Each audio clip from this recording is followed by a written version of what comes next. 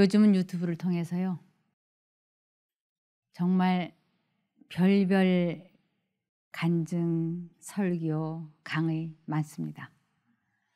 근데 사람들이 어떤 설교를 진정으로 듣고 싶어 하는가 하면 자기 감정 조절이 될 수 있고 마음을 다스릴 수 있는 그 힘을 소유하는 걸 듣기 원해요. 그리고 어떻게 하면 하나님의 그 하나님께 복을 받아서 세상의 명예와 번영을 누릴 수 있을까? 그래서 그 기도하는 방법이라든가 이런 거를 많이들 찾아 헤맵니다. 근데 오늘은 나는 매 순간 어떠한 마음으로 누구를 선택하며 사는지 그러한 것을 좀 알아보겠습니다. 지금 우리들의 실정은 사실 이렇습니다. 제가 읽어보면 하나님을 섬긴다고 주장하는 사람들 중에 하나님께 대한 체험적인 지식을 가지지 못한 자들이 너무나 많다. 하나님을 믿는다고 하면서 이 체험적인 지식, 살아계신 하나님의 능력으로 자기 자신과의 싸움에서 승리하는 그 체험들을 하는 사람들이 너무나 드물다고 하는 거예요. 하나님의 뜻을 행하고 싶어 하는 욕망은 성령의 깊은 감화에 의해서가 아니라 그들 자신의 기호에 따른 것이다. 성령에 의해서 하나님의 뜻을 행하고 싶어 한다기보다는 자기들이 소원을 해서 그렇게 되기를 원하는데 그것을 자신의 기호에 따른 것이다라고 말씀하고 있습니다. 그들의 행위가 하나님의 율법과 조화되지 않는다. 그들은 그리스도를 저희의 구주로 받아들인다고 하면서도 그가 저희에게 죄를 이길 능력을 주실 것을 믿지 않는다. 왜 믿지 않는가? 지금까지 살아보면서 죄와 싸워서 이겨본 경험이 없다는 것이에요. 왜 나는 자꾸 화를 참지 못하지? 왜 화를 자꾸 터뜨리지? 왜 나는 정욕을 이기지 못하지? 왜 나는 도박을 이기지 못하지? 이러한 것들을 그러한 것이 바로 하나님이 저희에게 죄를 이길 능력을 주실 것을 믿지 않고 살고 있다고 하는 것입니다. 만일 그것을 믿고 살았다면 그 능력을 받아서 죄와 싸워서 이기는 체험을 해야 하거든요. 근데 안 되고 있다는 것은 그것을 의미합니다.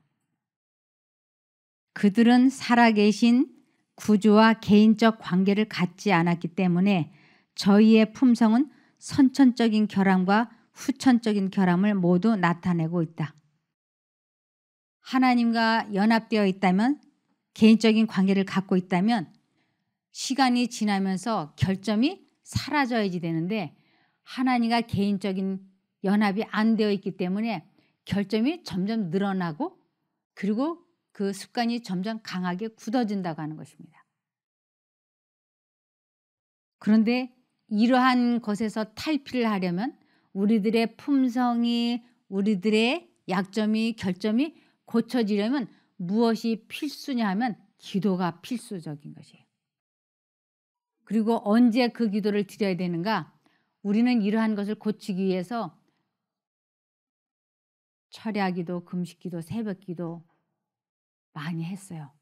그런데도 이러한 것이 조금도 고쳐지지 않고 있잖아요. 그 이유가 뭘까요? 기도가 필수적이라고 했는데 막상 기도는 했는데 안 고쳐지고 있잖아요, 우리가. 이것은 그 우리들이 두 가지 생각이 내가 만들어서 하는 것이 아니고 외부에서 내부로 사람 마음속에 들어오고 있는 그 때를 선택을 해야 되는 그때를 갈등이라 그러고 고민이라 그럽니다. 이 두 생각을 선택을 해야 되는 그 순간에 뭘 하지 않았냐면 기도하지 않았어요. 이것이 결정적인 실수예요. 화를 낼까 말까, 도박을 할까 말까, 술을 마실까 말까. 그러할 때 이 결정적인 순간에 하나님을 잊어버리고 자기가 선택하려고 하는 것이에요. 자기가 이기려고 하는 것이에요. 그래서 하나님의 도우심은 언제가 필요한 순간이냐면 곧 선택하려고 할 때 자신과의 싸움에서 이기려고 할 때 꼭 하나님의 이름을 불러야 되는데 그때는 사단이 막 회방을 해서 하나님의 이름이 생각나고 기억나지 않습니다. 그래서 이 문제를 놓고 특별히 기도를 해야지 돼요. 하나님, 제가 하나님을 잊어버리고 있을 때 그때 하나님께서 제 마음속에 하나님의 이름이 생각나고 기억나게 해 주십시오. 그래야 제가 하나님을 선택할 수 있습니다. 그러니 도와주십시오. 하고 기도를 하면 정말로 그 결정적인 순간에 하나님이 마음속에 탁 치면서 예수님 하고 이름이 번개같이 떠올라요. 그때 그 하나님의 이름을 부르기 시작을 하면 죄에서 해방이 되는 것을 체험할 수 있어요. 그래서 이 체험을 하게 될 때 그때부터 이 신앙생활에 기쁨이 영속적으로 이어져 갈 수 있는 것입니다. 그런데 세상에 속한 지혜는 또한 기도가 필수적인 것이 아니라고 가르친다. 봉사해야 돼, 전도해야 돼, 헌금해야 돼, 이런 것은 강조하면서 실제적으로 이 세상 지식은 이 세상에서 많은 신앙인들이 그 중요한 순간에 예수님의 이름이 생각나게 해달라고 기도하는 것, 그것을 등한히 하게 된다는 것이에요. 부부싸움을 하려고 할 때 분명히 마음속에 들려오거든요. 남편에게 아내에게 이 말을 하면 안 돼. 근데 하고 싶어. 버르장머리 뜯어놓고 지나가야 돼. 이거 그냥 넘어가면 안 돼. 이 두 생각이 왔다 갔다 할 때 예수님의 이름은 하나도 생각이 안 나요. 그래서 막 갈등 속에서 이 말하면 안 되는데 안 되는데 하면서 결국은 뻥 터지는 것이. 그리고 감정 가라앉고 나면 아, 왜 그때 내가 왜 예수님 생각이 안 났지? 그것은 우리가 하나님께 기도해야만이 그런 일이 일어나는 거예요. 그렇지 않으면 그 결정적인 순간에 하나님 이름이 생각나지 않아요. 왜 생각나지 않느냐면 사단이 회방을 하기 때문에 그렇습니다. 여기에 보면 이런 말씀이 있어요. 우리가 기도하지 않으면 그분께서 주시지 않는 것을 믿음으로 드리는 기도에 대한 응답으로 우리에게 주시는 것이 하나님의 계획의 일부이다 그랬어요. 우리가 기도하지 않으면 주시지 않는 것. 하나님과 사단은 두 신이 사람 마음속에서 전쟁을 할 때 규칙이라는 게 있어요. 우리가 농구를 한다든지 뭐 골프를 친다든지 테니스를 한다든지 무엇을 하든지 시합을 할 때는 경기를 할 때는 규칙이라는 게 있지 않습니까? 그 규칙을 어기면 그거는 이길 수 없는 거라고 이길 수 이기지 못한 것을 하죠. 그것처럼 하나님과 사단이 사람의 마음속에서 전쟁을 하는데 이러한 규칙이 정해져 있어요. 사람의 마음속에는 자유의지라는 게 있기 때문에 하나님 저를 도와주세요 하고 도움을 요청하지 않으면 하나님께서는 이 사람을 절대 도울 수 없어요. 또 마찬가지로 나는 죄를 지고 싶지 않아요. 죄 안 지을 거야. 라고 사단에게 말을 하면 사단이 강제로 이 사람을 죄를 짓게 할 수 없어요. 그래서 하나님을 부르고 있는 동안에는 사단이 건드리지 못해요. 또 반대로 하나님을 부르고 있지 않다고 하는 것은 사단을 선택한 것으로 간주가 돼요. 그래서 이 두 신은 서로 뜻을 정하고 강력하게 자기의 이름이 불려지기를 기다리고 있어요. 이 두 신은. 그래서 하나님은 우리가 강력하게 하나님 하고 부르는 것, 이 하나님의 이름을 부른다고 하는 것은 도움을 요청하는 기도인 거예요. 나를 도와주세요 하는 강청하는 것이에요. 기도하는 것이에요. 하나님을 믿는다는 표현이에요. 그래서 우리가 기도하지 않으면 그분께서 주시지 않는 것을 믿음으로 드리는 기도에 대한 응답으로 우리에게 주시는 것이 하나님의 계획의 일부이다. 믿음으로 드리는 기도. 하나님께서 약속하신 것을 믿고 부르짖는 거예요. 하나님, 나를 도와달라고. 그럴 때 하나님께서는 도와주신다고 하는 것입니다. 우리는 지금까지 신앙생활을 하면서 이 규칙을 모르고 살아온 세월들이 있어요. 그래서 이러면 안 되는데 이러면 안 되는데 하면서 뻥 터지고 이러면 안 되는데 이러면 안 되면서 꼭 자신과의 싸움에서 졌던 거예요. 그런데 이제는 이 규칙이 있으니까 하나님을 부르지 않고 있는 그 상태는 사단을 선택한 것으로 간주가 돼요.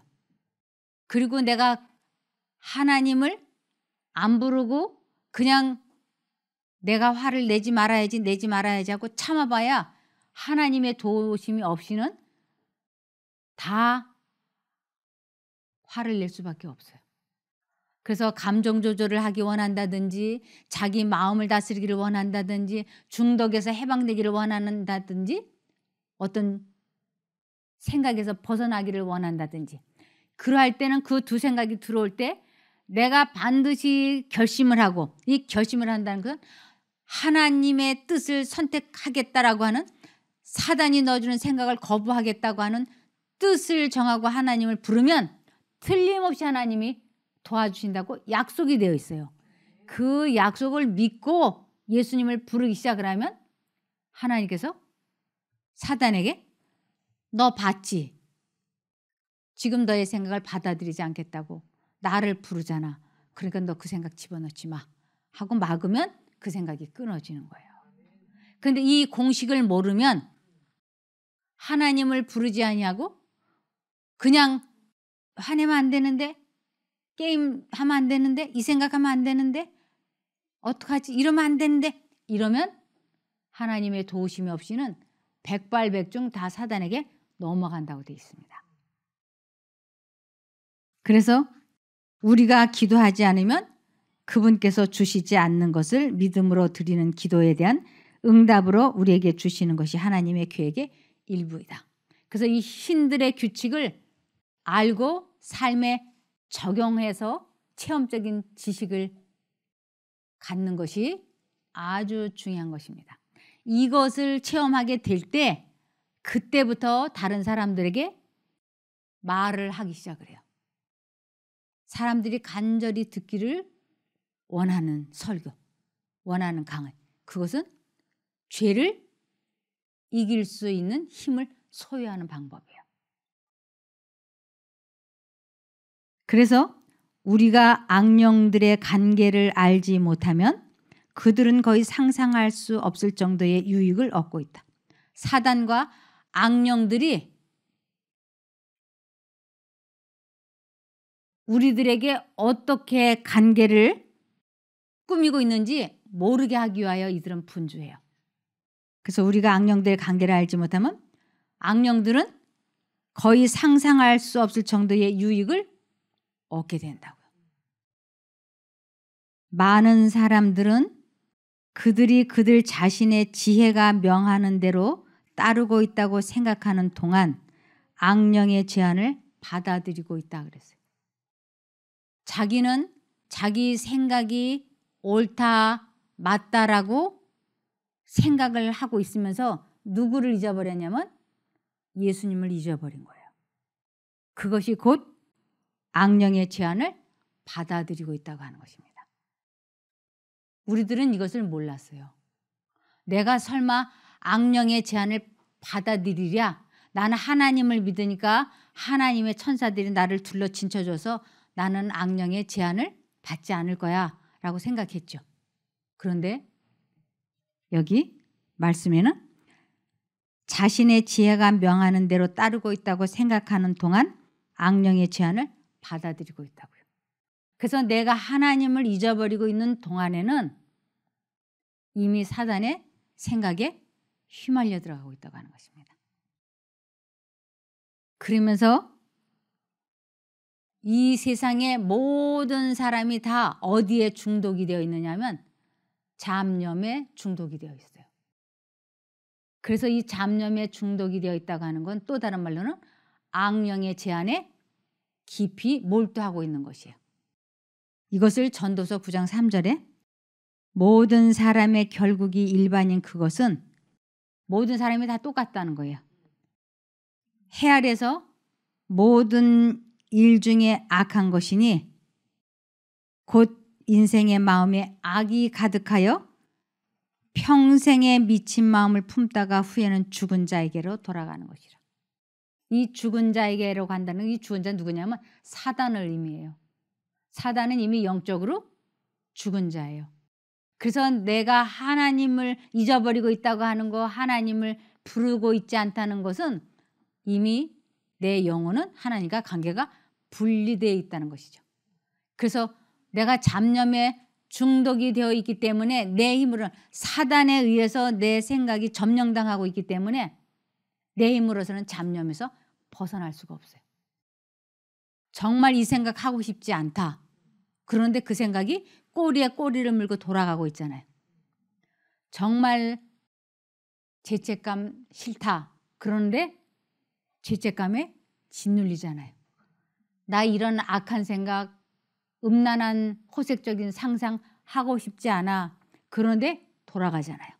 이것이 내가 하는 게 아니고 사단이 옆에 와서 계속 넣어주고 있는 거예요. 거기에서 벗어날 수 있는 유일한 길은 오직 예수 그리스도에게 기도하는 것밖에는 없어요. 그분만이 생각에서 해방시켜 주실 수 있기 때문에 이것이 되기 시작을 하면 부부간에 아주 화목하게 잘 살 수 있어요. 왜냐하면 사랑이라고 하는 것은 상대방의 약점과 결정과 실수를 생각하지 않는 것을 참사랑이라고 하거든요. 근데 우리는 아내 하면 아내가 아주 나에게 잘해주고 나에게 사랑을 표현했던 그 고귀한 것을 생각하느냐? 대부분이 그렇지가 않아요.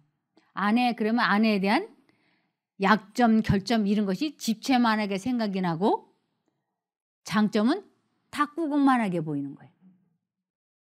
그러니까 상대방의 악한 것, 약점, 결점을 생각하고 있는 동안에는 내가 아내를 사랑할 수도 없고 행복하게 해줄 수도 없는 것이에요.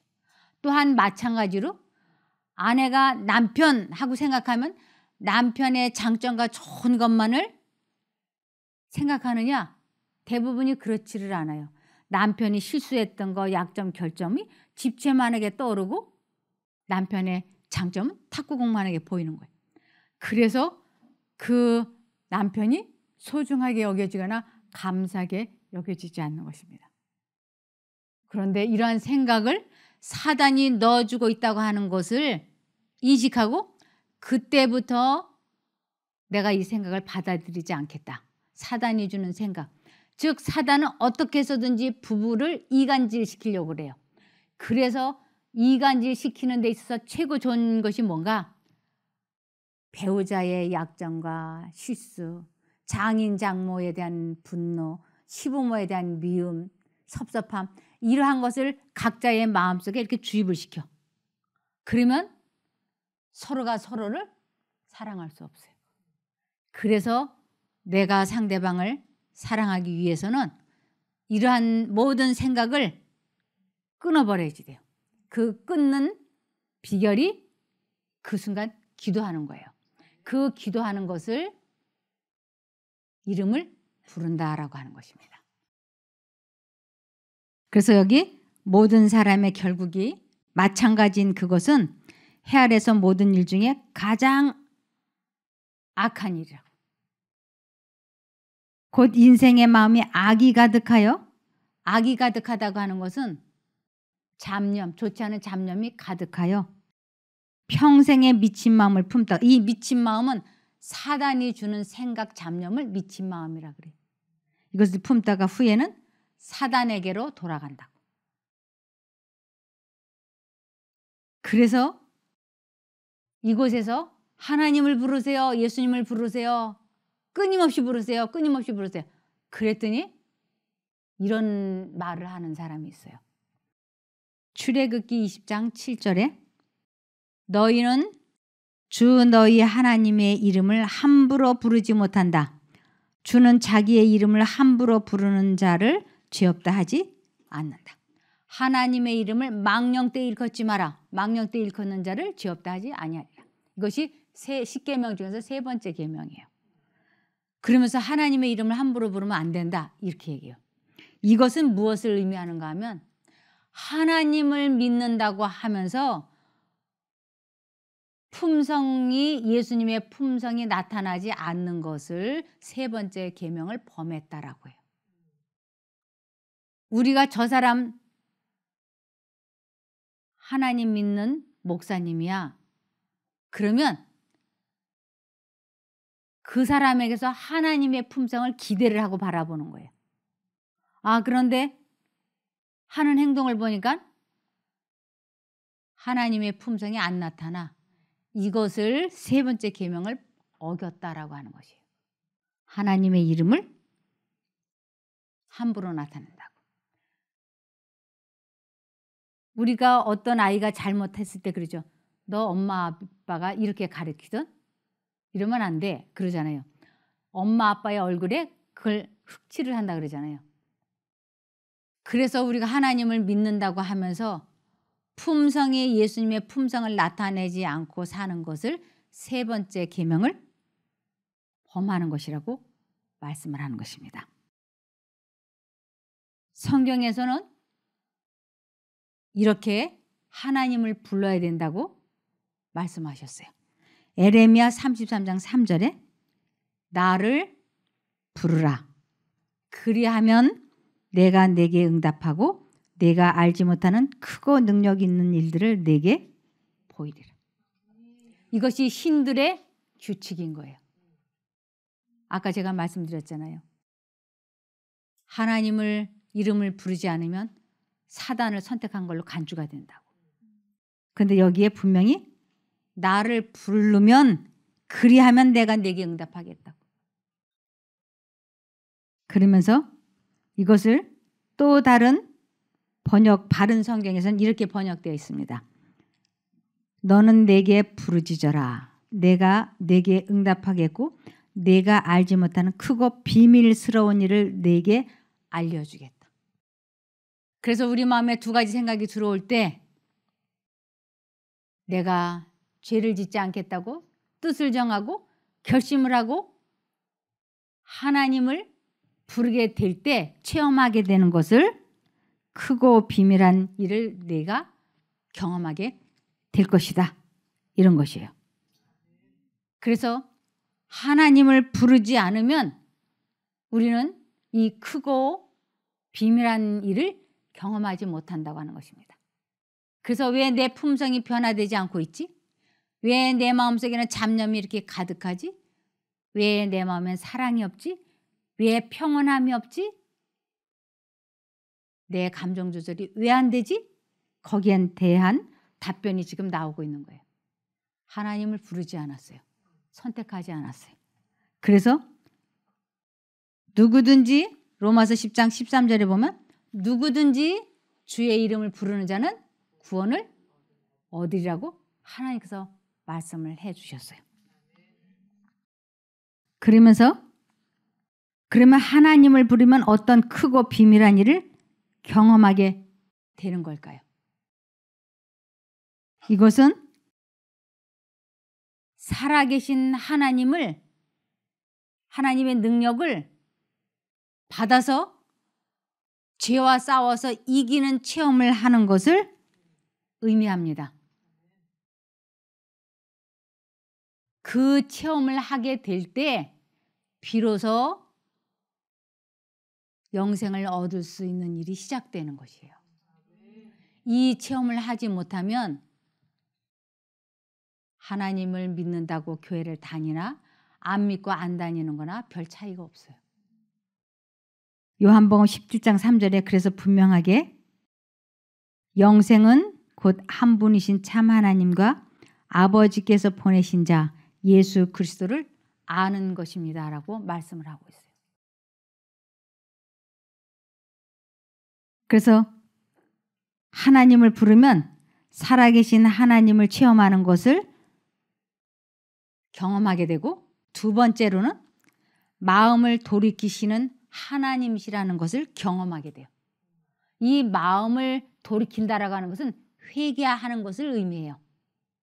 이 회개는 사람이 하는 게 아니고 성령께서 회개를 시켜 주셔야 회개를 하는 것이에요. 그 회개를 경험하게 되고 하나님의 능력을 체험하게 되는 것 이것을 경험해 보려면 어떻게 하라고요? 하나님께서 나를 부르라 이것은 나를 믿어라 나를 선택하라 이런 의미예요. 그러니까 내가 하나님을 부르지 않고 있는 것은 내가 하나님을 믿지 않는 것이에요. 믿지 않기 때문에 그분으로부터 능력이 오지 않아서 내 마음을 다스릴 수 없었고 내 감정 조절을 못했던 것이에요. 나의 악습이 고쳐지지도 않았고. 그래서 누가복음 5장 32절에 보면 나는 의인들을 부르러 온 것이 아니라 죄인들을 불러서 회개시키러 왔다.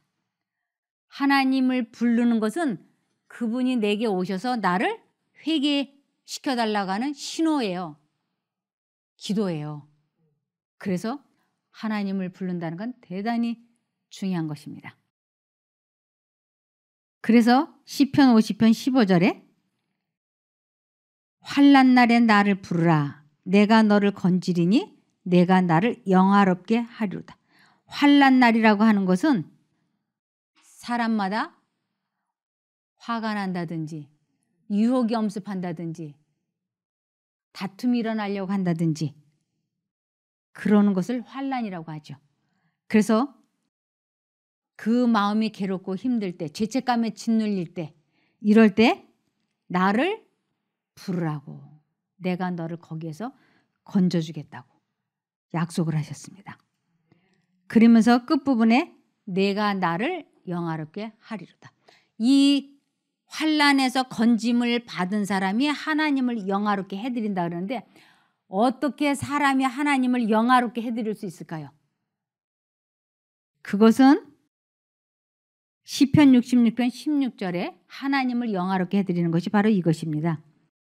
하나님을 두려워하는 너희들아 다 와서 들으라. 하나님이 내 영혼을 위하여 행하신 일을 내가 선포하리로다.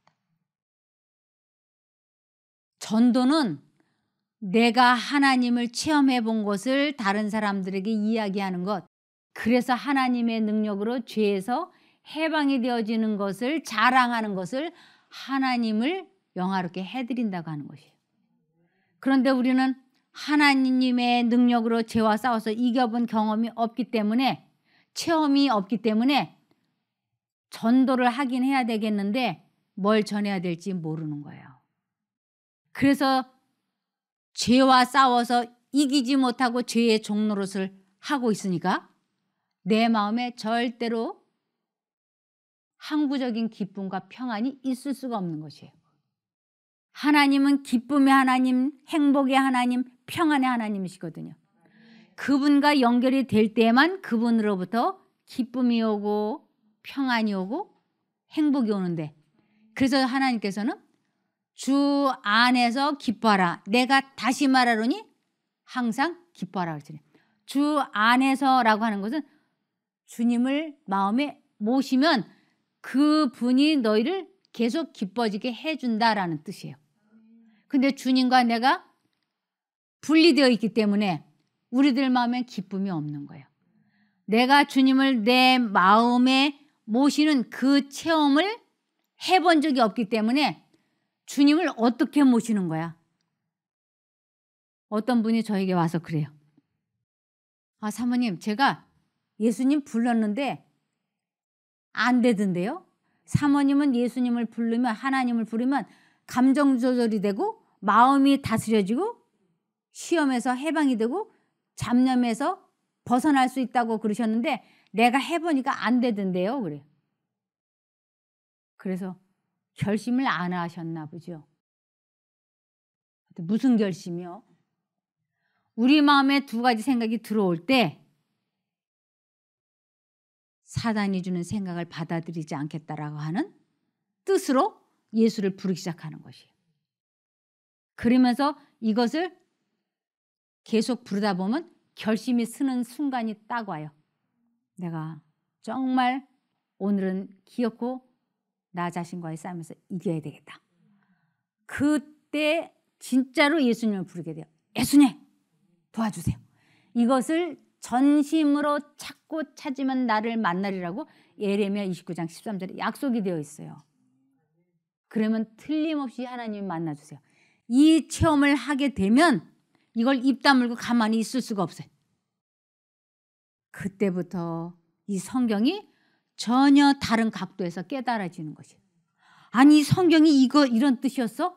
어머 세상에 나 이건 몰라서 야 이렇게 돼요. 성령의 능력에 의하여 성경이 전혀 다른 각도로 팍팍팍팍 깨달아지고 그리고 이 마음이 기쁘고 감격해서 이것을 다른 사람들에게 전하지 않을 수가 없어요.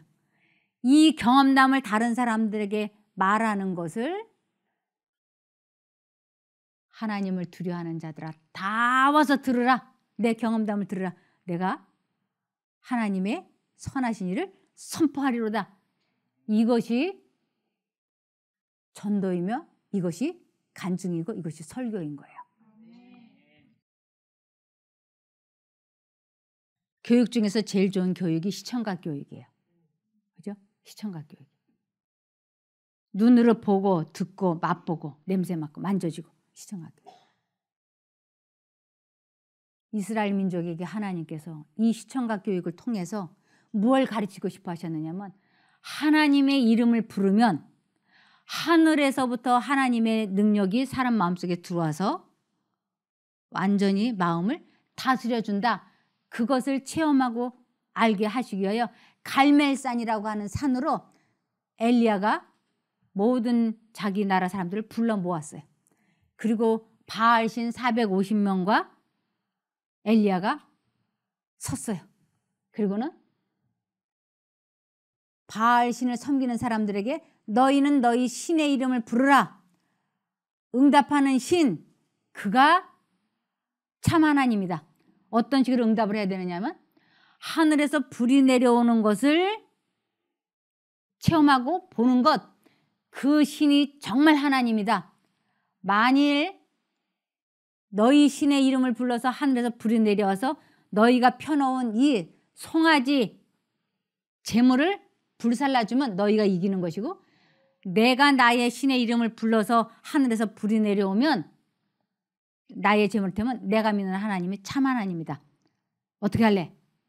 그랬더니 아 이 구경하러 나온 이스라엘 민족이 아 좋습니다 좋습니다 그렇게 하자 그랬어요. 그래서 드디어 450명의 바알 신이 바알 선지자들이 제단 위에다 송아지를 놓고 몇 시간이고 자기 신의 이름을 불렀어요. 불이 드디어 안 내려왔어요. 그리고 이제 엘리야 차례가 됐어요.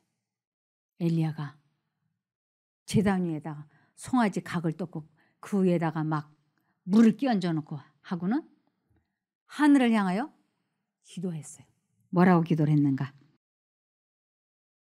왕상 18장 24절에 너희는 너희 신들의 이름을 부르라.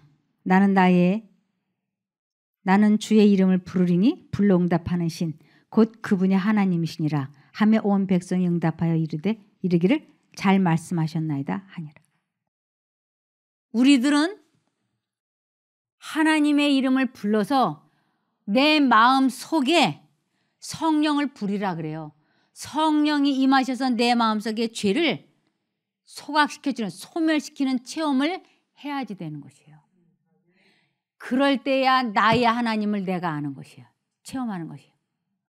이 체험을 하지 않으면 우리들의 죄된 행습은 언제나 그대로 남아있기 때문에 하나님과는 분리가 된 상태입니다. 그래서 왕상 18장 21절에 엘리야가 백성 앞에 서서 말했습니다. 여러분은 언제까지 바알과 여호와 두 사이에서 머뭇거리고 있으렵니까? 하나님의 생각과 사단의 생각이 들어올 때 언제나 이렇게 하겠느냐고. 여호와와 바알을 함께 섬길 것이요 여호와가 참 하나님이시면 여호와를 따르고 바알이 참 하나님은 바알을 따르시오. 그러나 백성은 아무 말도 하지 않고 잠잠히 있었습니다. 우리들은 두 신을 이렇게 이렇게 하다가 언제나 바알을 따랐어요. 화내면 안 돼. 화내고 싶어. 이쪽을 택했어. 이렇게 이렇게 이렇게 이렇게 이렇게 이렇게. 그런데 히브리서 12장 29절에 보면 우리의 하나님은 소멸시키시는 불이니라. 우리 마음속에 모든 죄된 것을 없애주시는 분은 성령 하나님이십니다. 그래서 열왕기상 18장 37절에서 39절에 여호와여 나에게 응답하소서 나에게 응답하시면 이 백성들이 두 가지의 체험을 하게 되는 것이에요. 여호와는 하나님이신 것과 주는 저들의 마음을 돌이키시는 분임을 알게 될 것입니다. 하나님의 이름을 부르면 두 가지를 정확하게 사람들이 배우게 되는데 하나님을 체험하게 되고 마음을 회개시키시는 것을 체험하게 될 것입니다. 그 기도를 하자마자 38절에 바로 그때 갑자기 하늘에서 여호와의 불이 내려와 그 재물과 나무와 돌과 흙을 태우고 또랑의 물을 핥아버렸다. 그러자 모든 백성들은 이것을 보고 땅에 엎드려 여호와는 하나님이시다. 여호와는 하나님이시다 하고 외쳤다. 우리 마음에 하늘에서 불이 내려와 본 경험이 있습니까? 내가 하나님을 부르지 않으면 우리 마음에 성령께서 죄를 없애주시는 체험을 못합니다. 그래서 하나님을 부른다는 것은 기도하는 것이며 믿는 것이며 선택하는 것이에요. 그리스도께서는 모든 유전적이며 배양된 악의 성향들을 이기며 당신 자신의 품성을 당신의 교회에 새기는 거룩한 능력으로서 당신의 성령을 주셨다. 이 성령을 받으려면 반드시 우리 마음에 하나님을 선택하는 선택력이 있어야 하는 것입니다. 그들은 그들 자신을 주장하기를 원한다. 이 자신을 주장하기를 원한다는 것은 자아 포기를 원하지 않는 거예요. 그것을 그들은 그들 자신을 주장하기를 원한다. 이것이 바로 저희가 하늘의 선물을 받지 못하는 이유이다.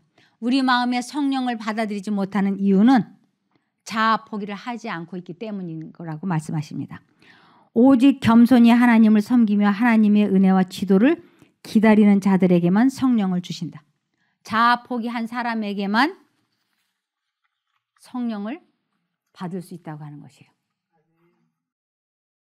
그래서 이 세상에서 우리들이 할 수 있는 가장 크고 위대한 일, 그거는 내가 수백 명을 침례를 주고 수백 명을 전도를 하고 헌금을 내 몸을 불사른 데 내어주기까지 다 하고 그게 아니에요. 그게 아니고 아주 간단해요.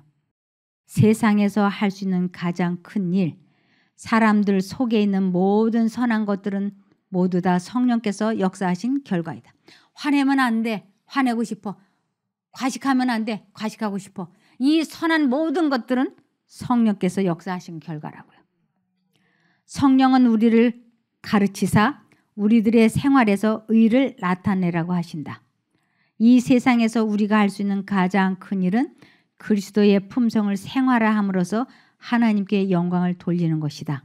하나님은 자신에 대하여 죽은 사람들만을 온전케 하실 것이다. 자신에 대하여 죽은 사람, 자아를 포기한, 자기를 부인한, 화내면 안 돼. 화내고 싶어. 도박하고 싶어. 도박하면 안 돼. 이럴 때 도박하면 안 돼. 하는 결심을 하고 하나님을 선택하는 것을 자신에 대하여 죽은 사람이다. 하나님을 선택하는 것을 나는 죽고 내 안에 그리스도가 사신다라고 하는 것이에요. 그래서 자신에 대하여 죽은 사람들만을 온전케 하실 것이다. 기쁨으로 자신에 대하여 죽은 사람들은 이제는 내가 산 것이 아니요 내 안에 그리스도께서 사신 것이라고 말할 수 있다. 구주께서는 우리들 자신을 그분께 달라고 요구하신다. 자아를 하나님께 굴복시키는 것이 그분이 요구하시는 것의 전부이다. 하나님께서 우리에게 원하는 것은 이 세상에 무슨 재물을 달라거나 어떤 재능을 달라든가 그런 게 아니에요. 내가 너에게 원하는 것은 오직 그 죄를 버리고 나를 선택하는 거야. 그렇게만 되면 우리는 모든 사람과 더불어 화평과 거룩함을 이룰 수 있어요. 누구보다도 사랑해야 되는 가족을 그렇게 될 때 진심으로 사랑할 수 있어요.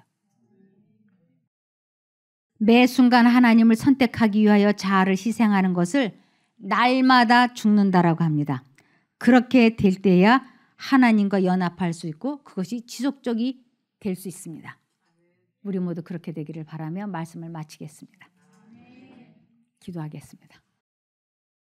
하늘에 계신 저희들의 아버지 하나님, 지금까지 하나님을 믿는다고 해왔지만 솔직히 믿지 않고 살아온 것이 느껴집니다.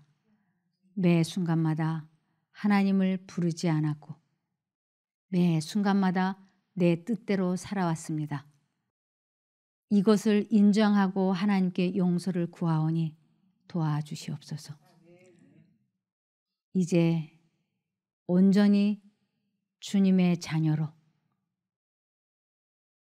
품성이 바뀌어서 하나님의 품성을 나타내는 하나님의 자녀로 살고 싶사오니 저희를 회개시켜 주시옵소서. 주님의 이름을 저희 스스로는 기억해내거나 생각해낼 수 없습니다. 그러니 아버지께서 아버지의 이름이 생각나고 기억나게 도와주시옵소서. 그렇게만 해주시면 이유를 불문하고 하나님을 선택하고 의지하고 부르겠사오니 도와주시옵소서. 이제부터 체험적인 지식을 갖는 저희들이 되게 도와주시기를 예수님 이름으로 간절히 기도드리옵나이다. 아멘.